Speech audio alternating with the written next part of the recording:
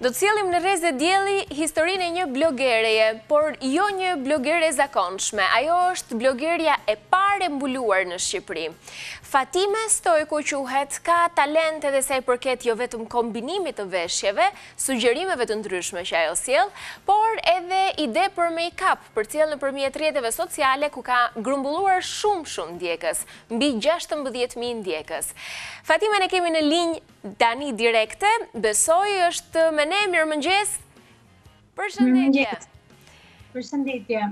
Të përshëndes, falemderit shumë që je me ne, me sa shoh ke një sfond të qytetit nga pas teje, je në Korçë, apo jo? Po, në Korçën tonë të bukur dhe doja edhe unë ta prezantoja bashkë me mua. Shumë mirë, në fakt keni një qytet fantastik dhe na ka marrë malli shumë të vijmë, posa të qetësohet situata do të bëjmë një vizitë në qytetin e bukur të Korçës. Fatime, duke qenë se është edhe muaji i Ramazanit të të pyes, je duke agjëruar? Po, fatmirësisht po agjëroj dhe unë. Si Agjërim të lehtë. Faleminderit. Uh, le të të pyes pak edhe për këtë pjesë në jetën tënde, uh, vajzë re, besoj je tek 20-at, po fiks fare mund të të pyes apo e ke problem ta tregosh moshën? Jo, nuk është problem. Tani jemi ka evoluar koha dhe nuk janë më komplekse siç kanë qenë më përpara. Shumë mirë, më bëhet qejfi që mendon dhe ti kështu. Atëherë, sa vjeç je? Jam njëzet e një vjeç. Njëzet e një vjeç. Besoj pak vite ke që je e mbuluar, që ke vendosur pra t'i përkushtohesh, t'ia dedikosh jetën besimit tënd. Si ka qënë për ty ky vendim? Atëherë, nuk mund të themi që ka qënë shumë afër kjo vendosja ime e shamisë apo e praktikimit të fesë islame. Më herët është, pra më afër është hapja e blogut se sa kjo. Unë kam kohë, jam rritur në një familje muslimane. Mhm.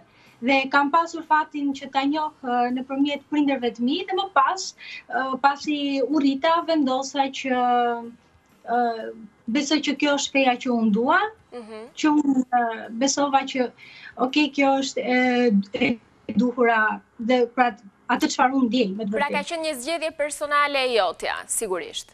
Po, sigurisht, patjetër. Nuk ka sens ndryshe. Duke qenë se paske qenë në moshë të vogël, po themi në adoleshencën tënde, do më më bën kurioz si ka qenë reagimi i shoqeve të tua, mikeshave të tua kur ti një ditë shkove e mbuluar, për shembull në shkollë. E vërteta është që më shumë janë habitur prindërit e mi se sa shoqëria, se të parët ishin ato që e morën vesh dhe po më pyesin, je sigur Fatime, e sigur që do të marrësh këtë vendim? Uh -huh. Dhe unë sinqerisht u habita sepse supozohet që janë ato të parët që duhet të të thonë shiko sepse ti duhet të bësh këtë, por në fakt ndodhi e kundërta. Kurse shoqëria e priti shumë mirë, Përderisa ti, përderisa ti i quan, e quan shoqëri si mund të ndodhë ndryshe që ato të mos pranojnë ashtu siç je ti. Nuk... Shumë bukur. E, e në fakt, ky është një mesazh shumë interesant, fjalia e fundit që shtove. Mirë, ti ke hapur blogun para sa vitesh? Blogu që është bërë publik është hapur para tre vitesh. Tre vite. Por më përpara thjesht e kam pasur një faqe personale. Mhm. Dhe aty vendose që ti të tregosh se si vishesh, se si lyhesh, disa ide kombinimi, udhëtimet e tua me ç'kam parë, ashtu siç bëjnë përgjithësisht blogeret. Po, unë vërtet e hapa, por nuk është se ishte thjesht një iniciativë personale duke menduar për një kohë të gjatë. Ishte në fakt dëshira e personave që mua më ndiqnin kur e kisha uh, personale faqen dhe uh mhm. -huh. që ato mua m'u drejtonin për shumë ide të ndryshme dhe përderisa ishin kaq shumë thashë më mirë le ta kthejmë në format blogu dhe pse ta cungojmë dhe ta kemi një rreth më të vogël edhe le ta zgjerojmë këtë rrethin tonë të ndjekësve dhe unë duke i dhënë atyre. Të miqve virtualë. Ka një lloj kontrasti mes zgjedhjes tënde për të qenë e mbuluar dhe të të paturit stil. Pra, në përshtypjen tonë duket sikur nuk mund të tregosh shumë për veshjen tënde në momentin që ti ke zgjedhur të jesh e mbuluar. Po themi ky është një mendim i përgjithshëm. Ndaj dhe dëshironim që të të pyesnim më shumë akoma A ke parë ti ndonjë lloj paragjykimi nga njerëzit, të cilët mund të kenë thënë, kjo vajzë e mbuluar, po nga ana tjetër ka zgjedhur që të tregojë modë, stil në postimet e saj. Ka patur histori të këtij lloji në jetën tënde? Më pëlqen shumë kjo pjesa pasi njerëzit në përgjithësi, jo vetëm për çështjen e besimit, por zgjedhin ekstreme. Për shembull, do jap dy shembuj. E para, kur Njerëzit zgjedhin anën akademike dhe i përkushtohen asaj dhe njerëzit të cilët merren me kujdesin ndaj vetes dhe nuk nuk nuk i kushtojnë fare rëndësi anës anës akademike. Dhe është shumë e vështirë që njerëzit ta perceptojnë që këto të dyja mund të jenë në mes, që ti mund të jesh duke mbajtur veten, të pëlqen, por nga ana tjetër ti i përkushtohesh dhe anës akademike. Po ashtu ndodh edhe në këtë rast. ekstremet, dy ekstremet e tjera, që e para njerëzit të cilët janë ato që i përkushtohen besimit të tyre, pra mhm. ndryshe të devotshëm dhe njerëzit e tjerë që duan që të jenë thjesht nuk janë fare pjesë e fesë, se mendojnë që feja ne mund të na cungojë, na e humbet lirin. Por edhe këtu qëndron i njëjti paralelizëm pasi Edhe këtu mund t'i bashkojmë, ti mund të jesh një besimtar, mund të jesh pjesë e një feje, mund të jesh praktikant, po ashtu por nga ana tjetër, ti mund të jetosh jetën. Pasi kjo ka të bëjë edhe me fenë që ti zgjedh. Feja që unë kam zgjedhur, ma jep këtë liri, pavarësisht se shumë njerëz thashë kanë marrë nga këto dy ekstreme dhe nuk e kuptojnë që... Që ka një rrugë të mesme. Pikërisht, është ajo e mesme e artë që të Të gjithë po e trumbetojnë, por nuk e di se sa do ia arrijnë. Edhe në këtë rast, duke ditur që gjithmonë do ketë një rrugë që është mund të jetë tjetër përveç asaj që ne mendojmë, edhe unë kam zgjedhur që kjo do jetë rruga ime dhe çfarëdo që njerëzit e thonë janë thjesht opinione dhe mua më kanë ndihmuar në fakt pasi si mund të ishte bota nëse do kishim të gjithë mendime njëlloj. Me kë do mund të diskutonim për ide dhe për gjëra që ne mund të shkëmbenim. E paska patur atëherë edhe opinione të këtij lloji, po që me sa duket ke ditur t'i sheshosh gjërat edhe të tregosh se Nuk ka asgjë të keqe, përkundrazi mund të dish të jetosh me të dyja shumë mirë. Të kesh edhe stil edhe të respektosh besimin tënd fetar. Ë, shoh që mënyra se si ke vendosur shaminë sot është shumë e veçantë. Ke vendosur, ke bërë një fjongo me sa shoh?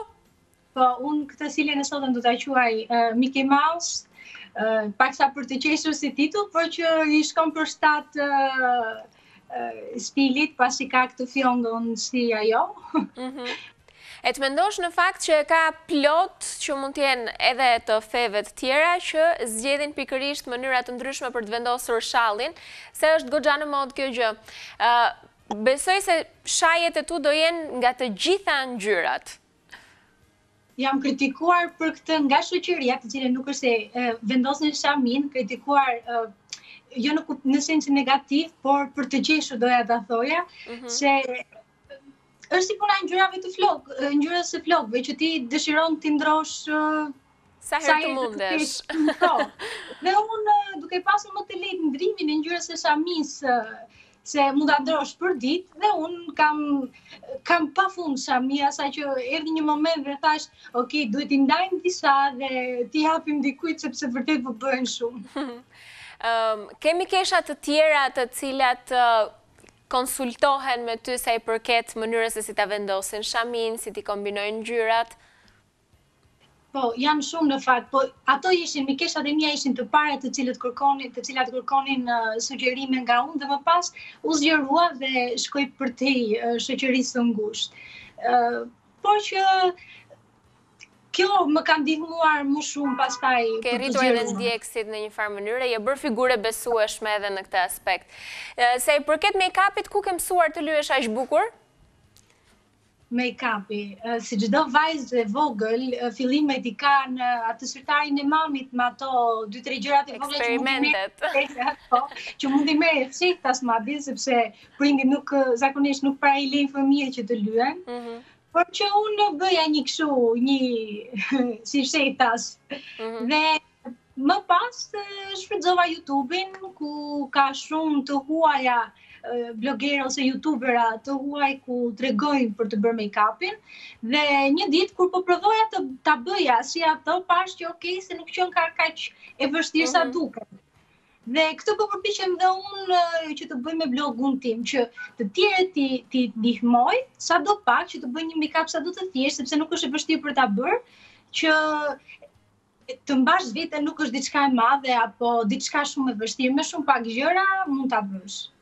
Mua më vjen shumë mirë që një vajzë e re, njëzet e një vjeç, ka gjetur mënyrën se si të gjejë ekuilibrat në jetën e saj dhe se si t'i bëjë të tjerët të kuptojnë se zgjedhjet së pari janë personale të secilit prej nesh e së dyti duhet t'i respektojmë medoemos_placeholder sepse kështu është jeta më mirë.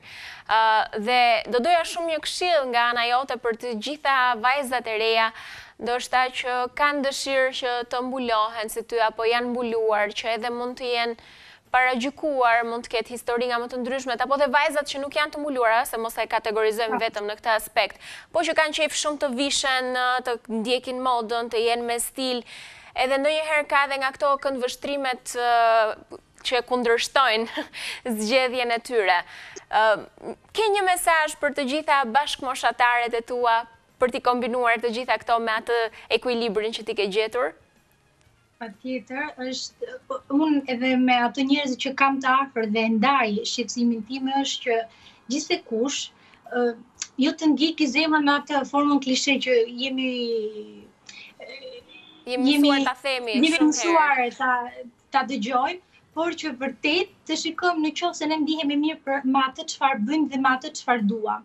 Në qoftë se ne do ndihemi të sigurt, do kemi besim në veten tonë për atë çfarë ne duam dhe duam të bëjmë, mund të jetë vendosja e shamisë, mund të jetë një stil, mund të jetë një profesion, mund të jetë një pasion, një një një dëshirë e jotja, mjafton që t'i besosh vetes, të ndihesh vërtet mirë me atë çfarë ti ke zgjedhur dhe më pas të tjerët janë thjesht opinione të cilat do të ndihmojnë për t'u rritur, jo për të të ulur poshtë. Në qoftë se ke besim tek vetja dhe dëgjon veten, mund të ecësh përpara. Në të kundërt, njerëzit gjithmonë do të të tërheqin nga mbrapa, sepse të duan si vetja, por të jesh ndryshe në këtë shoqëri është shumë e vështirë dhe unë dua ta përmend.